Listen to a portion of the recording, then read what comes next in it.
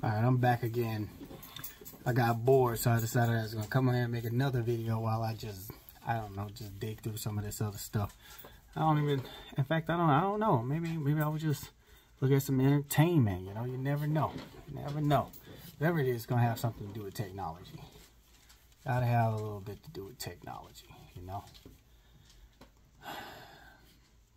Let's see. Maybe I'll, maybe I'll maybe I'll look at some of these new um, war bots or whatever. Let me see. Let's see war bots. That's crazy. This will ruin robot wars. Robot. Oh, that's a that's a video game though. I've never seen it. Let me see. I mean, could you? Oh, he's he's lit, lit. Let's see. Could you imagine if technology evolved to this point? Uh, this game, this game right here is called. Let me turn this down a little bit. I can't hear myself think. This game is a bunch of mecha bots moving around, blowing each other smithereens. Like this dude is. It looks pretty fun though. I'm like I, I, play games and all that. Like most people, like they grew up in the '80s. Um, this this game it looks fun, but I don't know. I don't know. Like I kind of got out of the first person shooter, the open world, first person shooter stuff once. You know, uh, what was it? Fortnite came out. I couldn't. I can't do Fortnite, man. It's like something about dying and waiting so long to load back into the server. I don't have that type of patience. I remember playing like GoldenEye. You die, you pop back up in an instant and then come back. You know, that's, that's the type of stuff I like. I can play first person shooters like that. Or, or um, was it Battlefield 3? I played Battlefield 3. That was fun. Playing Battlefield 3, um, running through. I, I love that, that shipping yard, man. That, that, that was fun. So I could do stuff like that. But it, anyway, back to this, this technology stuff. This guy's uh, playing this video game and it has like these huge mecha robots that are just blowing each other to crap.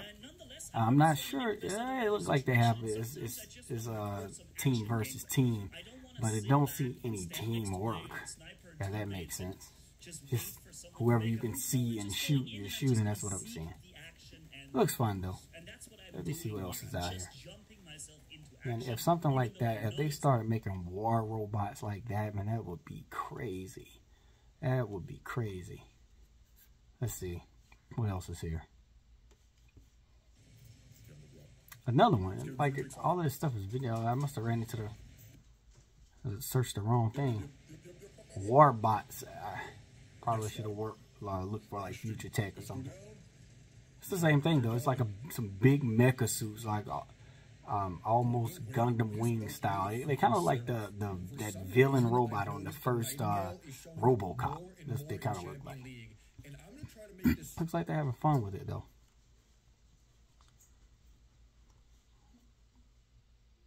Let's see what's this one. Again, same thing. Let me try to find it. Let me try to find a. Let me see. Futuristic.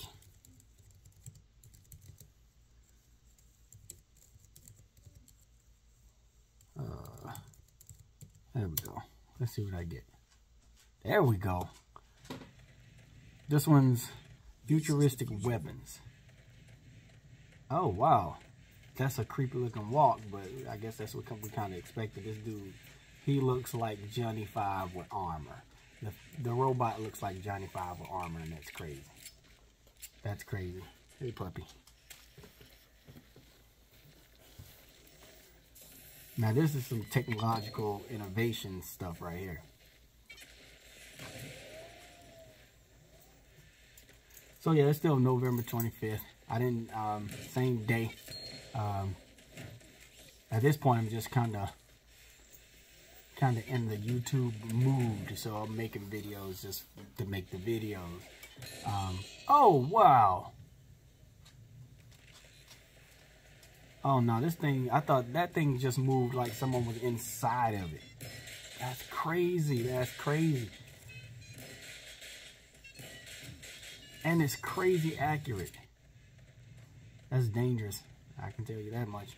There's no way I would be, I'd be the one out there testing that robot. you imagine that though? I mean, I know they model these things kind of like after our speech patterns, thought patterns, uh, what, what, what they call it, brain waves. It jumped over an obstacle. That's pretty. That's a pretty scary situation. It'll, it'll take some human lives out of. Uh, it'll it'll stop people from dying. I guess a decent amount of people. Some some people. If they send robots in to fight robots, I don't think that'll ever be the case. It'll just be a bunch of money people throwing into the, these war robots and technology and and um, probably raise taxes if anything. You know, like hey, we we don't have uh, we're not recruiting humans anymore. You guys got to pay the price. I'd rather. I'd rather. Check this one out. Military robots 2022. These robots can kill the biggest armies in the world. All right, let's see what you got. Because that's a stretch. So, I don't know if you guys watched the Black Mirror show, but this that's this little robot dog that terrorized the main character in that in that particular episode. And this, they have one. They have one right here. The little thing has weapons on it and everything. It's firing bullets. It's yeah. No, this was this video was from 2022, so it's not like um, most people have probably have already seen that it's kind of real. Black Mirror is kind of scary. If you guys ever watched um, Black Mirror, you should check it out if you're interested in future tech, right? Because it's almost as if I mean, I guess that's the theme of the show. They take like these futuristic designs or they take these futuristic concepts. Now, like these are the things that could go wrong with technology, technology advancing at the rate that it's advancing, right? So if you take, uh, if you wanted to see kind of the vision some people have in their heads brought to life on video, then check out Black Mirror. There's some wild stuff on there. Pretty, pretty good show on on Netflix. I think it's on Netflix. You should check it out. All right, let's see. Let's see what this one gonna do. And these missiles are pretty spooky too, like like the precision in which they can fly for miles and miles and miles and hit a single target, a missile, a missile. Imagine, imagine like like getting under the skin of some government and then they send an entire missile at you. Like you're standing outside already, right? There's so many different ways they could take you out, and they use a missile. I mean, I guess it'll be fast.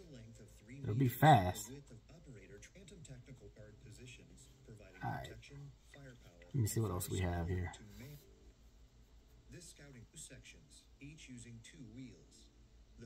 Hmm.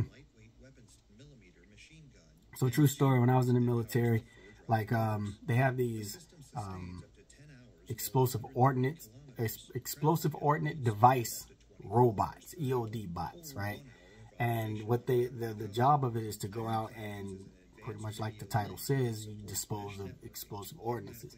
So de diffusing bombs or whatever. And this remote control, like a big Radio Shack um, uh, remote control car, right? Except the controls are obviously a whole lot more difficult than that. Um, I ain't gonna say difficult, but there's there's more to it. So I got an opportunity to to drive that little thing and and, and move it around. It's, it's got a camera on it and all of that. And, I, and I'm I'm assuming that if, if, if either of you have flown any of those drones with the cameras on it, which I have not done yet, if you've flown some of those drones with the cameras on it, you kind of understand how fun that could be. But just moving around with the with the little arms, they move slower than I thought it would, but I think it's supposed to given the fact that it's supposed to be used to dispose of bombs or, or whatnot. But yeah, it was pretty cool. I was I was uh, in Afghanistan, and uh, I was helping out. I, I had helped out um, the uh, EOD unit, and then when we were doing a training exercise, actually, I take that back. That, that's not where I played with it. That's that's inaccurate. We were we were back here in the United States when I played with that robot. We were just in a training exercise and um, we were in this little um, mock-up village, and um, I got a chance to uh, move it around there. That, that's why I see you get that type of stuff mixed up. But we ain't gonna go that route. We ain't gonna dig into all the old war stuff, any of that. Anyway, back to this technological innovations channel that we're about to make. This this video, these videos are old. These are futuristic. Um, this tank is drifting. These futuristic um, weapons, these these things aren't so futuristic. This video was made last year, but the video quality looks like it was probably pulled from like like 2006, seven, sometime sometime around there. You can tell it's nowhere near HD, you know. The quality video, I mean, the, the, video itself is not bad. The information didn't sound like it was bad. I was talking most of the time, so I can't really tell. But the, the information didn't sound like it was bad, but it's still, um, um, the video quality was a little yeah. 10 terrifying military bots that really exist. Okay, this is more along the lines of the type of stuff I want to do. This, oh, wow. This um tech company, I mean, this tech channel is like a lot of subscribers. And this is old, too. It should come as no surprise that some of the most advanced robots in the world are being built with military applications and Yeah, that's always going to be a thing. As soon as you do something like, hey, look, this this robot can do this, and then the military's like, can we weaponize it? Can we weaponize that backflip that that robot just did? They'll, they'll do it. Can we put knives in its shoes? They'll do it, man. For years, the U.S. military has been developing a miniature tank to support troops on the battlefield. I've never seen a miniature tank. Advanced armed robotic system MAARS fits a lot of firepower into its the 4M203 grenade launchers. Nah. These, uh, these are boring. I mean, cool thumbnail, all that. He's got. So some of these, like they'll trick you. They got like the, the the super cool thumbnails, and you're looking like, look at this futuristic weapon, and then they may have that weapon in there, but like there's like 20 minutes of dry, dull, dingy looking videos that and you're not going to see what you clicked on the video to see. I don't want to do that. I don't want to do that. I want to make sure that if you see future of you, if I show you a futuristic cannon, right, the rest of the video should have things that look like that, look like that. It shouldn't be like, look at this little dingy video that somebody uh, created back in 1987 and then look at this this video from 2017 or some crap. That's not to I want mine to flow properly. So if you if my thumbnail looks futuristic and it, it shows like some type of concept vehicle, the rest of them are to be concept vehicles. So that's what I want. I, I don't want to I don't want to be misleading. If I did if if you see this video and I don't do that, then reach out to me. Let me know that I said that I was going to do that. So going to try to correct it. You know? I want it all to flow the same. Now, if I cannot correct it, and I'm, as a disclaimer, tell you, if I cannot correct it because there's just not enough content out there, then I will let you know. I will write you back and let you know, yo, I, I can't do it. That's why I can't find the, the videos to do it with without having to pay an arm and a leg for, you know, um, some type of uh, the rights to use some copyrighted material. So that's that's got to be a thing. Okay, this this robot has samurai swords. I'm definitely clicking on this video. Did they say oh Boston Dynamics?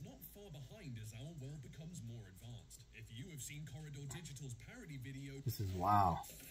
Oh, this this robot is doing parkour, and it's extremely accurate when shooting.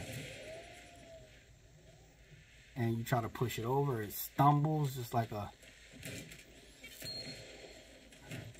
doesn't lose focus. This thing is special.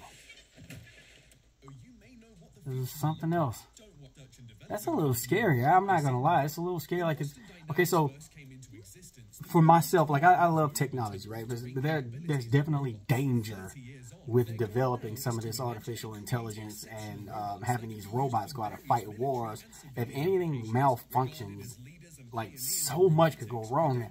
Not, but we're not even going to talk about we're not going to talk about uh, that portion of it. We're going to go back to, um, we're going to go back to the the the the scary part of it as far as um. Sorry, this, this is a video. I'm gonna pause it.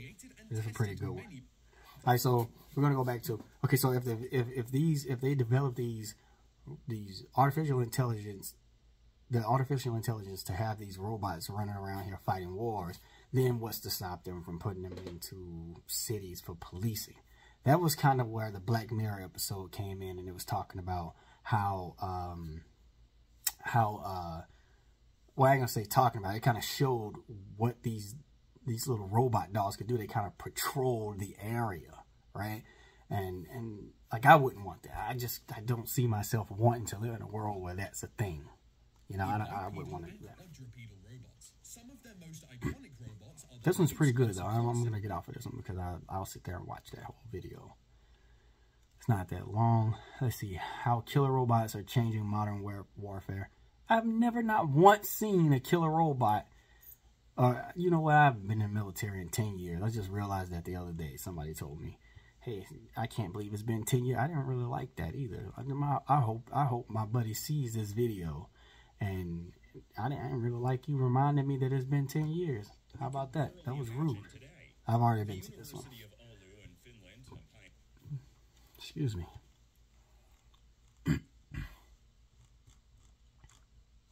All right, what's this? Nope, been there too. All right. Back out of here. Oh, okay. I said I didn't want to make these videos too long. I'm going to stop this and then we'll come back to another one.